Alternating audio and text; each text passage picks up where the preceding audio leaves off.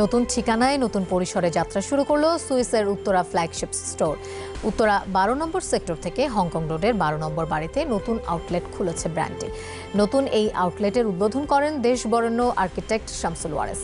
অনুষ্ঠানে উপস্থিত ছিলেন সুইস ব্র্যান্ডের সিসিও শরফুদ্দিন ইকবাল সহ অন্যান্য কর্মকর্তারা। তারা জানান লাক্সারিয়াস লাইফস্টাইলের জন্য সর্বাধুনিক বাথওয়্যার এবং কিচেনওয়্যারের সবকিছুই আছে এই আউটলেটে উত্তরা ছাড়াও কুড়িল, বনানী, হাতিরপুল ও চট্টগ্রামে ব্র্যান্ডেড আউটলেট রয়েছে।